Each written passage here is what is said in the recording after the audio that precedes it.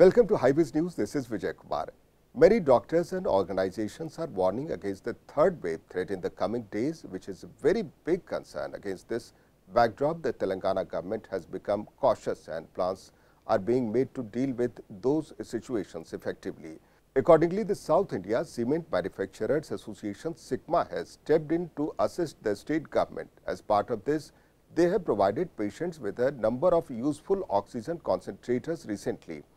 And now, SICMA representatives met Telangana IT and Industries Department Principal Secretary Jayesh Ranjan and handed over 100 oxygen concentrators.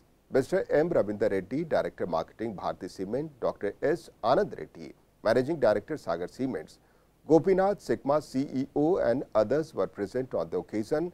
Apart from Telangana, oxygen concentrators have also been deployed in Tamil Nadu, Karnataka, Kerala and Andhra Pradesh by SICMA. They said that they will continue their cooperation in the future as well. IT and Industries Department Principal Secretary Jayesh Ranjan congratulated the SICMA delegates for providing the oxygen concentrators. He lauded SICMA's initiative in saving the precious lives of the people. Thank you for watching HyBiz News.